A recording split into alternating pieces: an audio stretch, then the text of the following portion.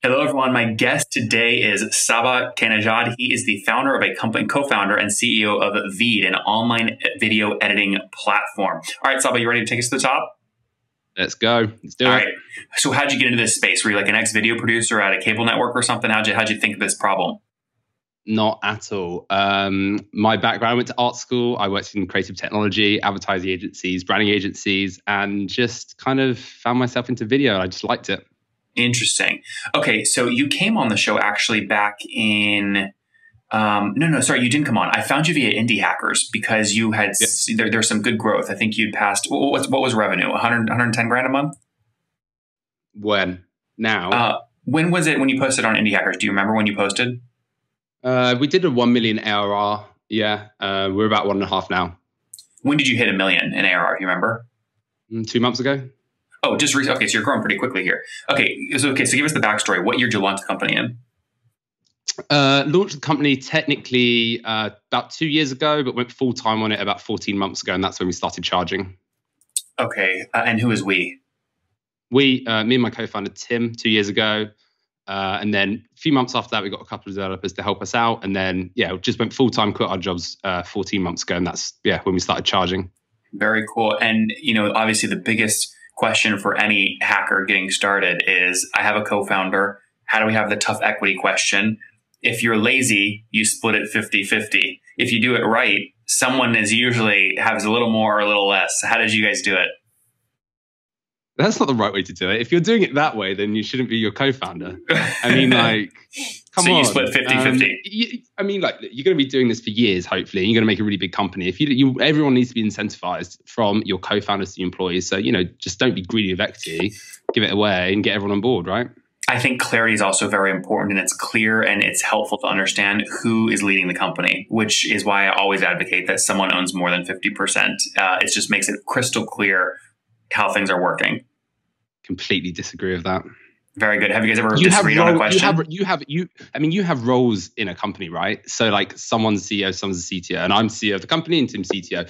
He makes and leads conversations and decisions in technology, and I'm not going to push, push back on that. And I'll take strategic decisions for the company, and he probably doesn't push back on that. Like we do push on each other, but like fundamentally, you know, we're I think we're aligned. And maybe that's just you know the synergy that we have, and other co-founders that be different. But I'm a massive component for being 50-50. hmm Interesting. Okay. So you jump into this, uh, you quit your full time job. What was the company doing in terms of revenue when you decided to finally quit your full time gig, both of you?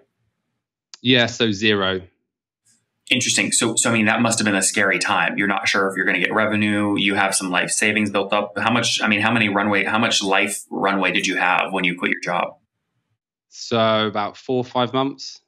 Interesting. Was that nervous, or did it make you nervous? Yeah, yeah, How did you yeah. I mean, but that? like you know, you got. I mean, like you know, I'm single. Um, I don't have a mortgage. I'm like relatively young. I can get contract work if I need to, um, relatively quickly. So it didn't seem like a massive decision at the time. I think the thing that we we're more scared about was getting to profitability super quick, so we didn't have to go back to our jobs. That's that's what we were worried about. hmm Are you profitable today? Yeah, yeah, we've always. I mean, you know, once we had this really beautiful moment where our savings and our revenue crossed over at this perfect point. Um, so yeah, no, we've yeah we've been profitable since then, basically, and still profitable now. That's great. And when you say profitable, like ten percent of the bottom line, fifty percent of the bottom line each month. No, no. I mean, you know, like three, four months ago, our runway was zero, and we'd spend everything we would on, you know, growth and putting it back into the company. Now we're probably putting away about thirty percent. That's great. So what do you do with that, right? Any founder, indie hacker reaches that beautiful moment where you start to have some cash flow and you go, do we just, do we pay ourselves more or do we leave it in the company and reinvest it? Yeah. So, I mean, like, I think it- depends. Like, we were paying ourselves about $2,000 a month until, I mean, even to the million. I think when we hit a million ARR, we paid ourselves more than $2,000 a month. Um, and we don't, even today, we don't need to pay ourselves any anymore. We're more than happy with that. Um, but yeah, I mean, definitely reinvest it in growth. Like it's if you have a company that's growing, it's hungry and it, it needs it, right? It needs more people on customer service. It needs more people in design. Needs more development to keep it moving forward. And you know, you don't want to stunt that growth, so put it straight back in. What is the team size today? Uh, we're just 20 now, I think. That just yeah, just crossed that yesterday. 20 folks, very good. And how many engineers? Uh, I think a good 50%. Yeah. 50, including uh, including Tim. Yeah. Yeah. Interesting. Okay, so tell me more about the product, right? So, so obviously you've got some customers on the product. How are they using it? What, what do you help them do?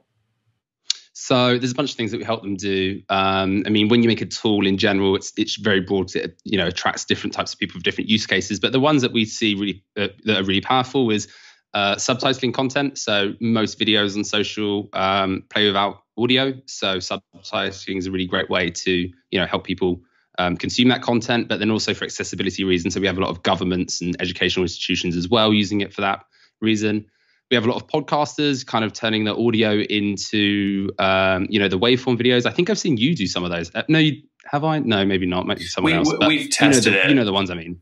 Yeah. What did you find? I mean, the, the issue for me is it's a it's it's it's less about does the tool do what it says it does. It's more about we do one episode a day. So like it's that's too like if, it, if they call them audiograms, right? If I did an audiogram every day, there's just I would overwhelm my Twitter feed with audiograms. So it's just more about we strategically do one here or there, and my internal team typically takes care of it. But but I know this is a very hot space. I mean, we just had um, I forget the founder's name, but I think the company called Wave just came on, and they're doing about yeah. the same amount, and they only really do sort of podcast audiograms. Amazing, right? Yeah, no, exactly. Um, and so yeah, I mean, you know, in terms of use cases, that's that's another one, but also just you know a lot of people make the Gary Vee style videos for LinkedIn. A lot of people trim content into different snippets, get it out in different channels. You know, there's a bunch of different things. And as the tool's getting more complex, you can do, you know, more and more things with it. And that opens up the use cases and the market size as well. Mm-hmm. Yeah. I mean, one of the things that's interesting, I mean, my first company, Heyo, was a full drag and drop Facebook application builder. And I remember with our dev team in our sprint seconds, we'd say, what we need is if they can drag and drop to create anything. We finally spent like months building a freeform drag and drop thing, which when I go to your homepage and I look at sort of how you have drag and drop here, it's sort of the same. But what we found is when we gave people all that freedom, they created really shitty designs. So yeah. we're like, well, crap, maybe we, we have to take away some of the freedom to make sure it's high quality. How do you balance that? Right, it's an interesting question. I think you know the same on Canva. You look at Canva templates, and you're like, these look amazing, and then someone goes in there like, oh yeah, but I want Comic Sans because it looks really friendly. And this stock video from Shutterstock, it's beautiful, right? So I mean, you've got to give them enough freedom for them to make a mistake, right? But you just kind of want to push them in the right direction. So you know, we don't, you know, we, you know, we actually give our users as much freedom as they like, and we, it's it, it's an interesting question. I think you know I think the most important thing is at least as long as the user feels really really comfortable using the product and making those changes it's great. If they feel scared using the product and they're going to mess something up then they're not going to be very confident and creative. So you know let them go. How many customers do you have today? Uh 5000 just under 5500 5500 interesting. So what does that mean? How much are they paying per month on average uh, average. So we've got a thirty dollar and we've got a fifteen dollar, and I think the average is 22 2250 when you yeah. add it all up and yeah. Yeah, that sounds about right. And and so let me. I mean, you do a very unique thing on your homepage, which you just you, you, there's not really like enter your email, sign up for a trial. It's just upload a video and start using the thing. I'm curious what yeah. this looks like. So so how many people sort of hit your website each month, and how many new like how many people click upload video and actually upload a video each month? Yeah, um, don't know, no idea. I mean, I know how many people. You know, we've got about ten thousand people hit the site every day. Um, how many? How many upload? Upload, uh, let's say like six thousand, maybe. Okay, that, that's 7, actually 000. so sixty percent upload some sort of video file. Yeah, no, we're pretty good on that to be honest. I mean, you know, there's a, there's a bunch of people who do like 20 videos a day. We had this guy doing like 100 videos a day, and it's crazy. But like, you know, there's skewed in that. But you know, a lot of people that upload and try it out, and you know, you can also enter URLs from YouTube and stuff like this. So, mm-hmm. so I love that you put the utility value of the product right at the front. But at some point, you have to pick the perfect moment to show that paywall or that trial wall where you have to get the email and get an account set up. What's the activation metric you want to see a user hit before you show them the actual sign up or paywall? Yeah, interesting. I mean, we give away as much value as possible up front, and we can do that. Um, you know, when they download the video and there's a watermark, they've got a decision, right? If they're a company, business, or an influencer, you know, it's in their best interest to remove it because it's their content. But a free user who just maybe wants to put something on Reddit doesn't mind the watermark, but that's great marketing for us. So yeah, we just put all the value up front, and if they want to get rid of the watermark and become a subscriber, they can for you know, fifteen or thirty dollars a month. And how many new customers did you add over the past thirty days? 30. I don't know that. We did uh, we did uh, 80 yesterday, which was good. Um, anywhere between anywhere between like 60 to 80 a day, something like that. So, so is it fair to say if we just look at a flashpoint, the average day at Veed looks like 10,000 unique website hits, 6,000 uploads, of which 80 convert into a new customer? Yeah, sounds about right. Something like that. Very interesting. No, I, would say I, I would say no. I would say renders. I would say you know I, I don't know about unique uploads, but unique renders a day would be about six thousand. What's the difference between an upload and a render? Well, an upload is probably uh, yeah, that's a good question actually. Yeah, I mean you know we so in general we're not like super hot on funnels conversions and stuff like this. Like we spend most of our time talking to our users understanding what their needs are and what their jobs to be done is right? And we just yeah and the, and the, reason why we're not like going deep on these funnels is because we're just not at that stage yet. We're still at this stage of trying to build the product understand who our user is. And i think there will become a time where we start looking really deep into these metrics and starting tightening up all the funnels and you know tracking what happens at every stage but right now i think we have a good understanding of our user and who you know how they want to use the products and you know we can see that in the in the revenue metrics right mm-hmm. how much have you raised or are you bootstrapped today no we haven't raised any money i love that so totally any plans to raise no. What if someone that was hyper strategic came along? They did. No, I was joking. No, they did. Actually, yeah. I should, I, well, why did no, you? Why, why would no. you? If, if someone culturally, if someone culturally aligned with you and could help yeah. get your product into the hands of more creators, and you mm-hmm. like the deal terms, you'd still be opposed to you'd still be opposed to taking outside capital. So look, let me. This is the way that I'm looking at it. I see a very comfortable, like I, I kind of see a decent path for the next couple of years to get us to 10 million ARR, and I think there's a very good possibility we're going to get there, and we're going to get there relatively efficiently. Um, you know, now is not the right time. We haven't literally our head of growth hasn't even started yet. We haven't even started doubling down on our acquisition channels. Like once we do that, I'm going to feel really comfortable. Um, yeah, I just feel like it's too early. It's just way too early. Like, well, what if? Like, so, so here's one thing. Here's one. Here's one. Not going to make Capital's not going to make us grow any faster right now. I can't see that happening. And in terms of acquisition, if we were to entertain that now, it's way too early unless the revenue multiplier is really, really good, right? Well, okay, so so in all fairness, I think you're missing like a critical point though. What if someone that came along that could be your head of growth, but is already wealthy and has had success, so you can't hire them. You could not get their strategic thing without letting them write a check to invest in the company. So then mm. you're essentially not even paying them a salary they wrote you a check to invest and they over time actually become your full-time head of growth why don't founders in your stage ever think about the fact that letting someone put in money is a much cheaper way to get very smart talent on your team I completely agree. I've emailed Gary Vee like 50 times. Yeah, but he's not going to be your head of growth. He's, he has exactly. no time. Yeah, I think I think the way that I the way that I think about this um, is like the people that you're talking about. Um, they've already done it, right? They don't want to do it again. They might want to do it again, but we need to find the people who are going to step into their shoes. Who is going to be the next dot dot dot? And like I actually think we've been very successful at finding and hiring those people. And I do. But why hire them? Why hire them though, and hit your hit your headcount expense? Why not find someone like that and let them invest, and then they'll do it for free because you let them invest? I don't know who these people are that you're talking about, but I'd love to know who they are. You look at head of growth at Gary Vee, not Gary Vee, but the head of. You look at everyone who's in the, the third, fourth, and fifth spot. The head of growth at Canva. For, no, at Canva. it's a multi-billion-dollar company. Why would they leave? Why would they leave Canva and join you? You have to find people exactly. that are like just below that, right? So, where where they see your growth, they see the incentive structure, and then get something from you that they can't get at Canva or at VaynerMedia. I think we've. I think. that. I think like. Um. Yeah. No. I. No. I, I get what. I get what you're saying, but I. I feel. I feel. I feel good about who we've just got as our head of growth and has been trained by the best. So yeah. Sorry, my, my, my, question though, you're, you're missing my, my, my question is why don't founders in your shoes, when I say, would you take capital from a strategic partner? The answer is we're not, we don't want an acquisition and we're too early. They, people never think about investors as free labor, which is, I think, a very smart way to think about bringing on. I mean, look at how Buffer grew. They took yeah. $20,000 from 150 influencers, right? Like that was their growth channel. Mm. Yeah, I mean, so I, th- we could go around in circles about this all day, I suppose. Um, but I think you know, I think great that worked for Buffer, but I think we've got a good growth channel at the moment. It's working super well. Like, I, I mean, like, do I want to put more fuel on the fire? Yes. Like, but I'm not. I'm maybe I'm just not in a position where or we're in a position that we need to do it. I, I don't know. I, I'm happy to look more into it, definitely. But I just, that opportunity hasn't come about. And it, I, yeah.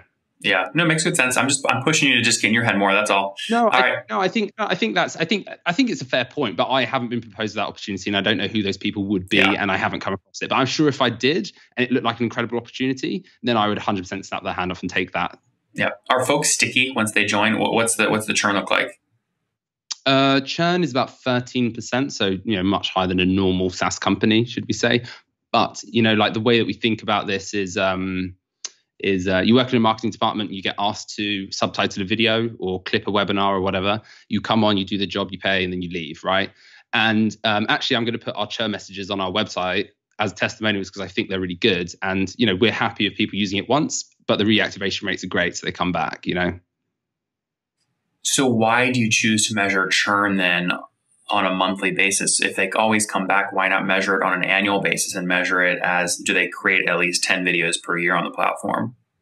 Yeah, I mean, it, I suppose you, you're right, um, but it's just because we haven't been like super, super data driven on this sort of stuff. Um, but yeah, I mean, like churn. I'm, I mean, I'm comfortable with people using it just for one video, and I think there's enough people staying and there's enough people coming back that I feel like it's pretty healthy. Yeah. Um, yeah, we're You're just talking, just to be clear, you're talking 13% per month, right? So about a, you churn through your entire customer base each year, about 150% annual Mm. churn. No, we retain about 30% of so the people that first joined a year ago, we got about 30% of that first cohort still on.